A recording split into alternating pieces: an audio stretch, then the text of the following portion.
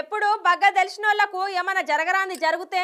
దగ్గరోళ్ళు దూరపోళ్ళు తెలిసినోళ్ళు చుట్టుపక్కల ఉన్నోళ్ళు వచ్చి ఏమైంది ఎట్లా జరిగింది అని అరుచుకుంటారు కదా మనకాడ.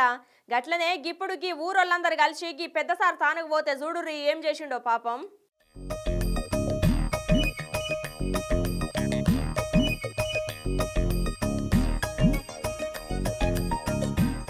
ఏందో బస్సులో జనాలు జోరుగొచ్చిర్రు.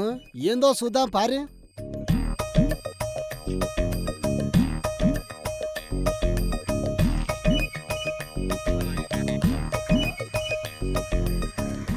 ఇక తెలంగాణ ఎన్నికలల్లో బీఆర్ఎస్ పార్టీ ఓటమి పాలైన తర్వాత ఆ పార్టీ అధినేత మాజీ సీఎం కేసీఆర్ సారు ఎర్రవెల్లిలో ఆయన ఫామ్ హౌస్కు పోయిండు. మూడు తారీఖు సాయంత్రంకి వెళ్ళి ఆయన ఆడికెళ్ళి బయటికి రాలేదు. బయట కార్యక్రమాలలో కూడా పాల్గొంటలేడు. ఎన్నికలలో గెలిచిన బీఆర్ఎస్ ఎమ్మెల్యేలతోనే ఆయన ఫామ్ హౌస్లోనే కలిసిండు. ఇక ఈ ముచ్చట గిట్లుంటే ఆయన సొంతూరు చింతమడక జనాలు కేసీఆర్ సార్ను కలిసేటందుకు ఫామ్ హౌస్కు వచ్చిర్రు.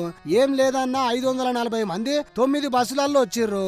అయితే పోలీసు వాళ్ళు గేట్ కాడనే ఆపేసిర్రు. అనుమతి ఉంటేనే లోపలికి ఓనిస్తామని వాళ్ళకి చెప్పిర్రట.